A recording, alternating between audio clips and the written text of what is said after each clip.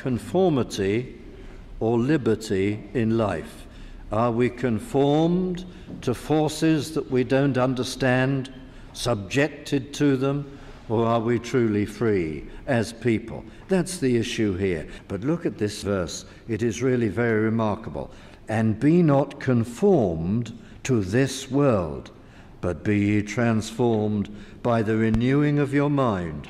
Two key words conformed, transformed. Conformed. The Greek actually hints at the adoption of an outward pose, such as an actor may adopt. The idea is be not pressed into shape at an outward level by this world, but be transformed in your mind, transformed through and through. Conformed refers to your outward appearance, and your inside is unchanged, unreformed, unimproved.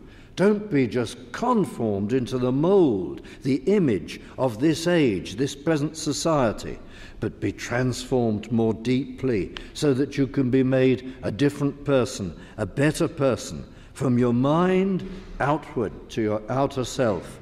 So, are we conformed? Of course we are. Everyone is. Before Christian conversion, whether we know it or not, we are fashioned into the desires and into the ways of this present world. We're molded Though the word doesn't actually speak of this, the Greek word, it is used to describe also the molding of something into a shape. Is that what happens to us as we live in this world?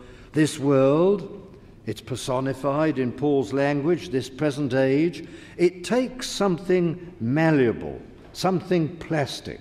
That's us and it molds us and shapes us, rather as a potter does with the clay. He takes the clay, he shapes it, and then, of course, he bakes it so that it becomes fixed in that shape. And that's what the world does to us. It fashions us, molds us, shapes us how it wants us. And then it makes us hard and brittle so that we cannot change out of that shape and we cannot improve our character. This isn't very complimentary to human beings. The Apostle Paul effectively says, You are malleable. You're easy to shape and to change. You, you don't know it, but you are. We think we're strong and independent characters and personalities. We're not.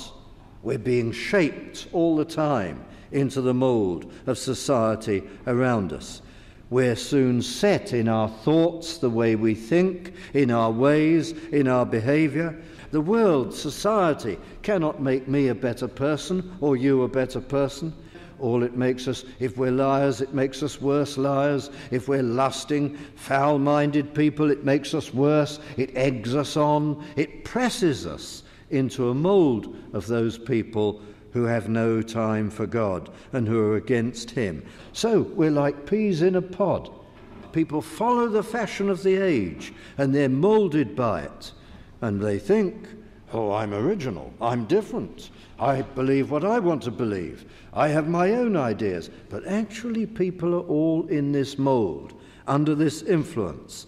Rather years and years ago, I remember visiting a car factory and seeing the shell of the car, the metal parts stamped out on giant presses.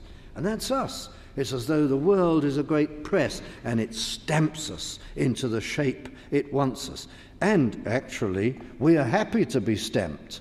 Conformed to this age, your potential has been crushed, it's been torn away from you. Your potential to know the Lord, to walk with Him, to be in communion with Him, to be used by Him, to have light and understanding of Him, to know Him and to enjoy Him, your potential as a soul has been ripped away from you, and you've been conformed and forced down to into a godless stratum and order. We must repent before God. We must believe in Christ and depend upon Him. We must give Him our poor sinful lives, hand them over, so that He, by the power of the Spirit, can work in us that great transformation, and we shall know Him and love Him and walk with Him. Oh, that must happen, or you'll die, conformed, bludgeoned into the shape of the world, and eternally condemned. What a Saviour we have. Just think of it as we close. He was ready to come.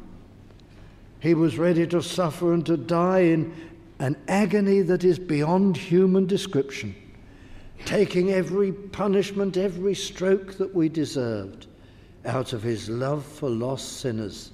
Seek the Lord and turn to him while you can.